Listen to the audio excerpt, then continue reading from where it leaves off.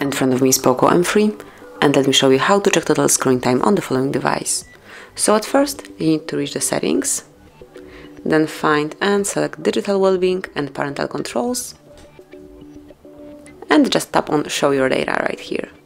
And as you can see right in front of you, you've got detailed statistics regarding the usage of your phone. So you can click on it again to see some further info. And here you've got all the apps and also the uh, usage time. So for example settings been in use for 7 minutes today. And if you will uh, use your device earlier you will also be able to check the previous weeks and days. So this is it. This is how you can check your total screen time in your device. Thank you for watching. Please subscribe our channel and leave the thumbs up